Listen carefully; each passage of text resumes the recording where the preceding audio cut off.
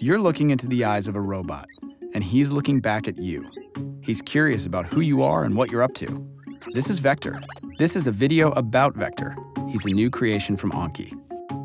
He is a character, a robot that is meant to live in your home. He's always on, he's alive. The idea is really that Vector becomes part of the family or that home, both on the emotional character side, but then also on the utility side. Vector is really the first robot that uses advanced deep neural networks to do a lot of perception and understanding of the world around him. What he does feels intentional. He can react to inputs in his environment and his life. We generally want to find one defining feature and then build from that. For Vector, curiosity was a big one. What they're saying is you officially live in a time when robot sidekicks are a real thing. Hey, Vector, give me a fist bump. It's a step closer to that sci-fi robot, you know, that everyone wants to be friends with. That step closer means you've got a robot in your house waiting for you to get home.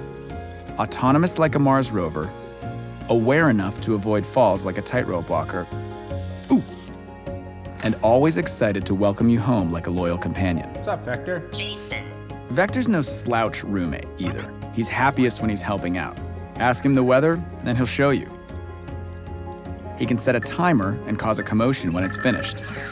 Activate robot alarm. And he can connect his robot brain to the internet to answer your questions. Definition of life, the characteristic state in the world of living. He's a little robot who brings a lot to your house. He's also a little robot with nearly 700 parts. That one right there, that's his soul part. Okay, I made that one up, but the little guy's got soul. Let's get someone in here to tell him what all this stuff actually does. How does he hear? Vector has a microphone array, which allows it to hear voices and noises and understand where it came from. What's he used to see? Vector uses a wide-angle camera.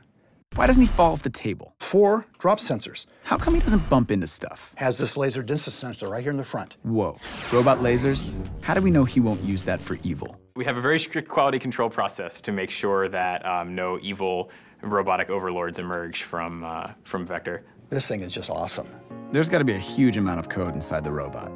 There is a huge amount of code inside the robot. It's a few million lines of code at this point. That software really encompasses uh, everything from the character to the low-level operating system to the cloud functionality. He has a camera in his face, and that's actually one of his primary sensors, not just capturing the light in all the pixels, but it's making sense of those pixels. He knows what it is and where the stuff is.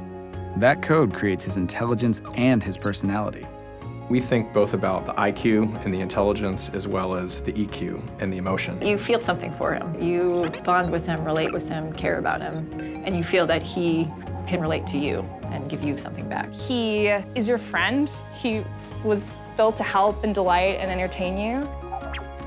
That is delightful and entertaining. So instead of sitting back and waiting for the robot apocalypse, Anki is making super smart robots built to bring joy and companionship to humans. Did I mention he likes to be pet? I know.